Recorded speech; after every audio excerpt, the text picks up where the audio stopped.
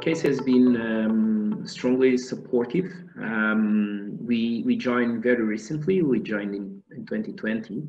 Uh, we were not only very well welcomed in our uh, physical events the, in London in the beginning of 2020, and uh, we, we, we felt very welcome there.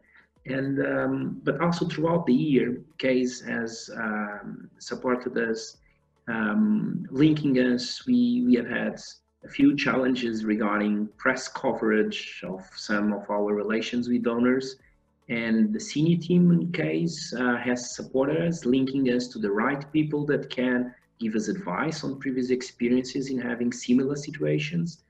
Um, secondly, uh, case uh, the case library team and um, and a few individuals that um, that were pointed to us within the case network were able to support us in the development of a new governance structure for our relation with donors uh, with a new code of conduct and a lot of documentation. That case has an example as a benchmark that we heavily used uh, to our case and to develop our um, fundraising governance regarding the university and our um, important donors and also um, in terms of not only how to connect with donors but also how to maintain the relations and the rules we should follow. So I think Case has been tremendously uh, uh, supportive of our fundraising um,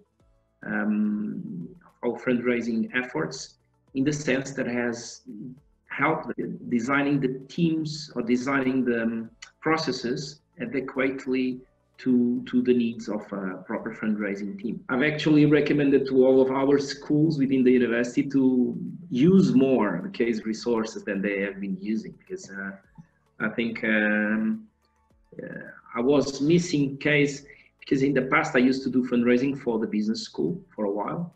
Um, and then I had to, to, create this team, the central team for the university. And um, of course, having case as a, as a benchmark for fundraising has been tremendously helpful on that.